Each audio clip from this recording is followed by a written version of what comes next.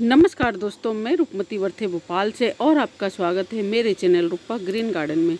उम्मीद करती हूँ कि आप सब भी स्वस्थ होंगे और अच्छे होंगे। जो लोग मेरा वीडियो पहली बार देख रहे हैं, वो मेरे चैनल को सब्सक्राइब कर लें और साथ ही साथ बेल आइकन को भी दबा दें ताकि मेरी आने वाली हर वीडियो आप लोग देख सको। तो दोस्तों, हाजिर हूँ मैं एक नया वीडियो, नया टॉपिक लेकर।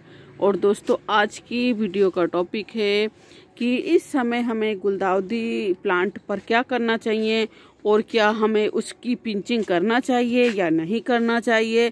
दोस्तों, आज सारा कुछ मैं इस वीडियो में बताऊँगी और आप लोगों को जानकारी दूँगी। तो वीडियो में बने रहे लास्ट तक के और पूरा वीडियो मेरा वॉच कीजिएगा। तो चलिए दोस्तों, हम वीडियो की शुरुआत करते हैं। और दोस्तों, ये समय ऐसा है कि नर्सरी से हम अपने विंटर सीज़न के पौध भी ला सकते हैं और प्लांट भी ला सकते हैं और अभी भी समय है हमारे पास में विंटर सीज़न के सीड ग्रो करने के दोस्तों तो अभी आप सीडलिंग भी कर सकते हैं और नर्सरी से आप अपने विंटर सीज़न के प्लांट भी ला सकते हैं। तो दोस्तों, इस पर भी मैं वीडियो बनाऊँगी कि कौन कौन से हमें अभी प्लांट लाना चाहिए। और दूसरी बात दोस्तों, इस समय आप अपने सारे प्लांटों को फर्टिलाइज़र दीजिए दोस्तों। जो विंटर सीज़न के प्लांट है, उन्हीं में जिसमें सर्दियों में फूल आते हैं, उन्हीं में आप फर्टिलाइज़र कीजिएगा। और जो प्लांट हमारे डोरमेंसी में चले गए हैं, जो सो गए हैं, जो गर्मियों में होते हैं, उनमें आप फर्टिलाइज़र ना दीजिए और उनको भी एक जगह सेव करके रखिएगा। और ऐसी जगह में रखिए जहाँ पर उनको भी धूप मिलती रहे थोड़ी थोड़ी सी। तो ऐसी जगह में रखिए तो चलिए दोस्तों, अब हम टॉपिक पे आते हैं बात करते हैं आपसे। तो ये देखिए दोस्तों, ये है हमारे गुलदाउदी के प्लांट दोस्तों। तो इस समय आप इन प्लांटों में क्या कीजिएगा?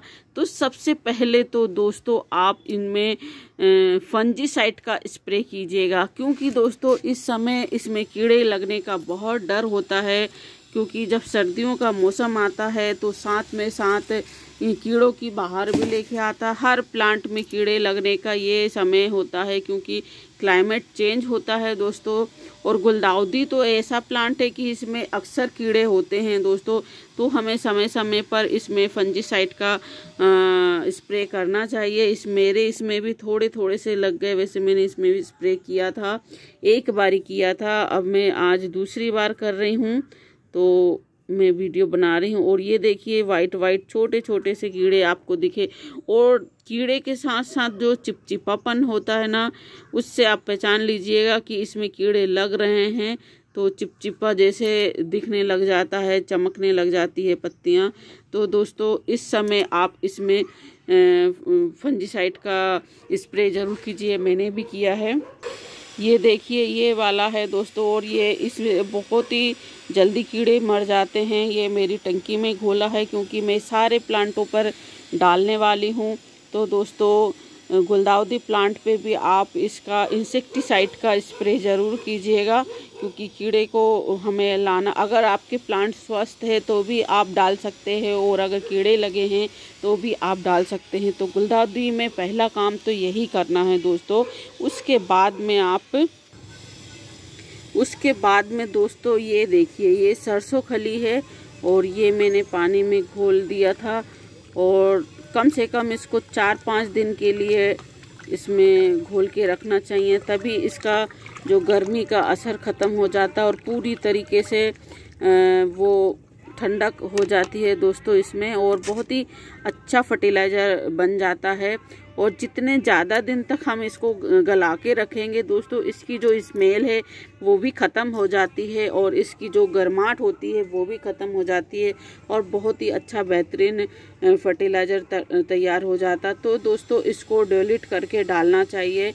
तो ये मौसम में बहुत ही ज़रूरी है गुलदाउदी के लिए।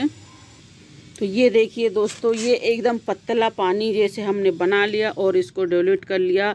मतलब एक भाग हमने हमारा सरसों खली का लिक्विड फार्म में जो फर्टिलाइज़र वो लिया और कम से कम 10 से 15 भाग हमने पानी लिया।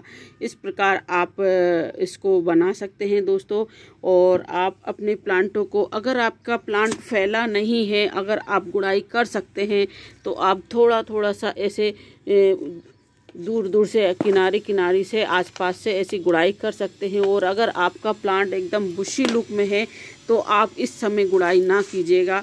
बस आप क्या कीजिएगा थोड़ा सा ऐसे तिरछे से हटा के, इस प्रकार ऐसे हटा के, हमारे प्लांट को ऐसे दूर करके, और इसमें फर्टिलाइज़र आप डाल सकते हैं ऐसे। क्योंकि दोस्तों, गुड़ाई करेंगे और थोड़ा थोड़ा डालना, अगर गुड़ाई करेंगे तो हमारा प्लांट की जड़ें जो होती है, वो ढीली हो सकती है और प्लांट टूट जाएगा। इसलिए आप इस प्रकार सारे प्लांटों को फर्टिलाइज़र दीजिएगा। क्योंकि दोस्तों, अब हमारे इन प्लांटों में फूल देने का समय आ गया है। अब वो तो दोस्तों ऐसा है कि किसी ने पहले कटिंग लगाई है तो पहले फ्लावरिंग पे हो जाता है, किसी ने बाद में कटिंग लगाई है तो बाद में फ्लावरिंग पे आएगा, वो समय के अनुसार है। लेकिन ये समय बहुत ही अच्छा है क्योंकि हमारे, अब जनवरी तक के, जनवरी, फरवरी तक के हमारा जो इसमें फ्लावरिंग का सीज़न शुरू हो जाएगा और कलियाँ भी बनने लगेगी। दोस्तों मेरे इसमें तो कलियाँ नहीं बन रही अभी क्योंकि शायद मेरी लेट हो गई है। अगर आपके इसमें कलियाँ बनने लगेगी तो जल्दी ही फूल आ जाएँगे। और दूसरा विषय ये है दोस्तों कि जो मैंने कहा था कि इसमें क्या अभी पिंचिंग करना चाहिए कि नहीं करना चाहिए। दोस्तों, अब पिंचिंग करने का बिल्कुल समय नहीं है।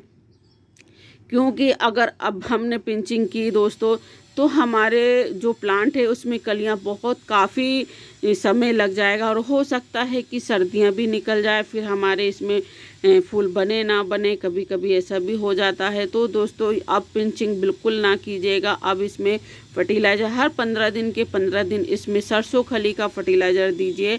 तो हमारा प्लांट में बहुत ही सारे फूल आएँगे और बहुत ही जल्दी फूल और बड़े बड़े साइज़ में आएँगे क्योंकि अब सर्दियाँ भी काफ़ी हद तक के हो गई दोस्तों। बहुत सर्दी लगने लगी, रात का क्लाइमेट भी इतना ठंडा होने लगा और दिन में सुबह भी सर्दी हो, लगने लगी। तो दोस्तों, इस समय आप पिंचिंग ना कीजिएगा क्योंकि अब पिंचिंग का समय नहीं है। और इसमें आप फर्टिलाइज़र देते रहिएगा। इस प्रकार करोगे तो आपके प्लांट में बहुत ढेरों फूल आएँगे और बहुत स्वस्थ होगा दोस्तों। और एक बात और ध्यान रखिएगा, कीड़े मार की दवा बहुत ही ज़रूरी है। इसमें हर आप 20 दिन में 25 दिन में या एक महीने के अंतराल में तो ज़रूर से ज़रूर डाल दिएगा जब भी आपके प्लांट स्वस्थ रहेंगे दोस्तों, नहीं तो इसमें बहुत ही जल्दी जल्दी कीड़े की अटैक होती है। पिछले साल मेरे बहुत सारे प्लांट ख़राब हो गए थे दोस्तों, इसलिए मैं आपको सजेस्ट करती हूँ। तो दोस्तों, वीडियो में इतना ही। अगर आप लोगों को मेरा वीडियो अच्छा लगे तो मेरे वीडियो को लाइक करना और मेरे चैनल को सब्सक्राइब करना। दोस्तों, कमेंट्स करना ना भूलिएगा। धन्यवाद। Bye bye